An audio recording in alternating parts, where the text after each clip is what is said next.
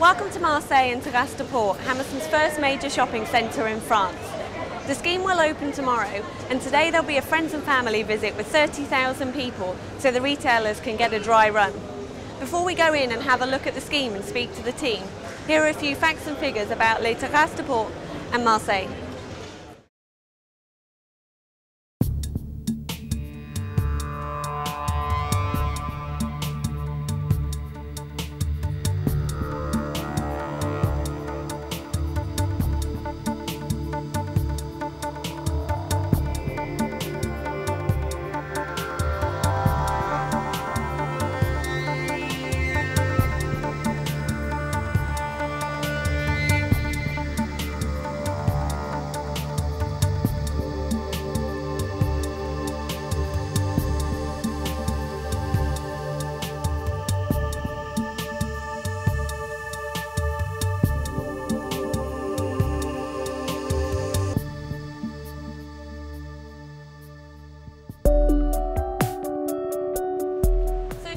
Why Marseille?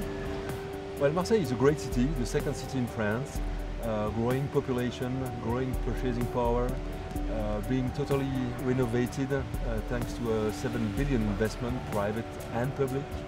And a particularity which is there was no shopping center development over the last uh, 15 years. So there was an under density. So that's the ideal place to be as a developer. Can you tell me how the opportunity came about in Marseille? Uh, in 2009, a Dutch developer who owned this project could not fund the project. So we approached him. There were several developers who approached him in order to put our hands on this uh, project, and eventually we won the race, and we're very happy. And is this a new breed of shopping centres for Hammerson in France? Yes, hopefully it, it's a first of a long series. Uh, if we can replicate that uh, great scheme in other areas of France, hopefully it will generate the same uh, appeal for other cities uh, than the Bullring generated in the UK. And what could shoppers expect for the launch of Terrasses du Port over the weekend? There will be queuing tomorrow, I'm sure, to discover those uh, 30 new brands coming to Marseille. Three years ago, we took a survey and there was already a 90% uh, awareness about this project. So I'm sure now it's up to 100%. We have already 32,000 uh, Facebook fans uh, prior to the opening. A lot of buzz on Twitter, on, on the press and everything. And I'm sure that will turn the face of shopping centers in France. It will be the first for kind. This is a great showroom for us and uh, we are ready to replicate.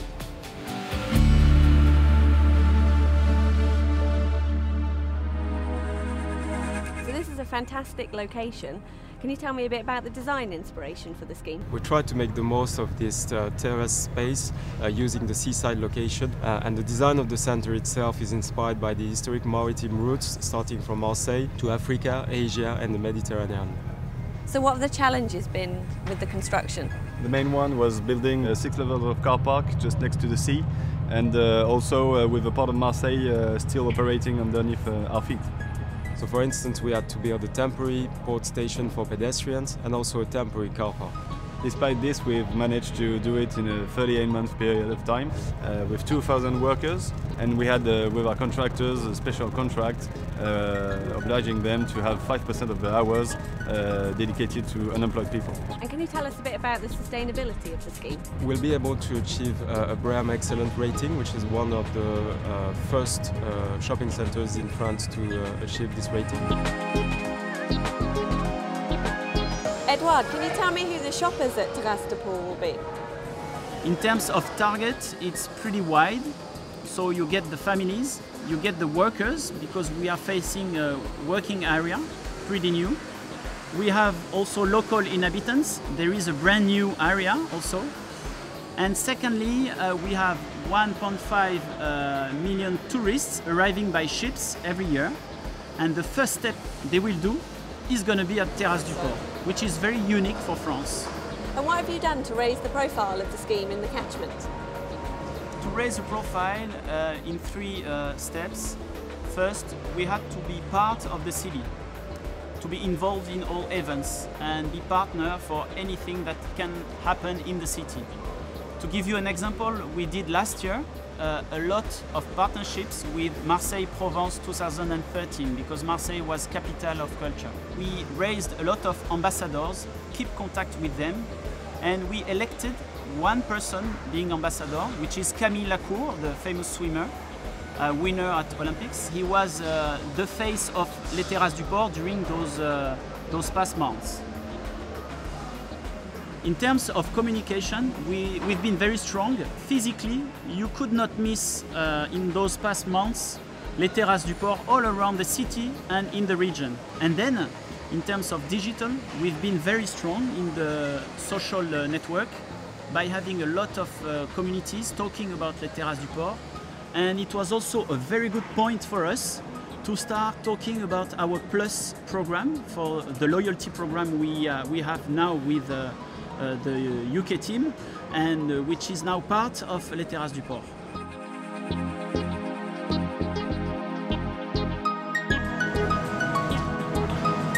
So this is our first centre to have a new multi-channel approach. Can you tell me about it?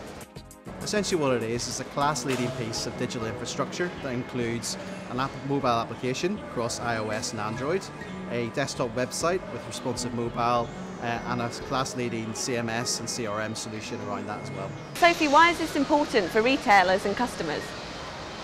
So, from a shopper point of view, they have in their pocket a huge amount of information on their phone that they can come to the shopping centre with. The app, particularly, is very simple. There are three main areas. So, there's the offers, there are generic offers that retailers are running. We'll give them information about that. Then, if they sign into the app, we'll be able to give them exclusive offers. They'll also have mapping, so they can literally be anywhere in the centre, put in the store that they want to go to, and the maps will take them there using the geolocalization.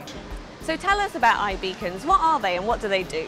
These are low energy Bluetooth devices. So what it'll be able to do is actually locate you in the mall to within one meter of your position, which means we can send you really, really localized messages based on the stores that you're passing by, the events that you're looking at, uh, and the content you're surfing on. So why is the centre so great for retailers? In terms of letting, we are 98% let at opening, thanks to a great teamwork during all those years. Uh, the, the location of the scheme in front of the seaside make it very attractive for all the retailers. And Alice, can you tell me a bit about the shop fits? Yes, so we decided to work with Rolls, who is from London. Uh, he's a designer, so he helped all the retailers to get the best concept in the best shopping center. And which are your favourite stores here? My favorite store is the Superdry store that is located on the second floor with a great, uh, great fit fit out, I think. The best store from my point of view is the Printemps department store uh, because they didn't open any Printemps since 1982 and they decided to be there on 7,000 square meter GLA on two floors and the architecture is really beautiful inside. And can you tell us about the restaurants? The restaurant, so it's quite unique because we decided to have a grand halle, as we call it. Um, it's like a food hall, uh, like a market, like Harrods Gate in London. So we are around, we are having around 1,500 square meter GLA with a lot of small kiosks, very local people. That's it from Les Terrasses du Port. We hope you've enjoyed it and are looking forward to coming out in September. A huge thank you to the team. It's a fabulous scheme. Merci, au revoir.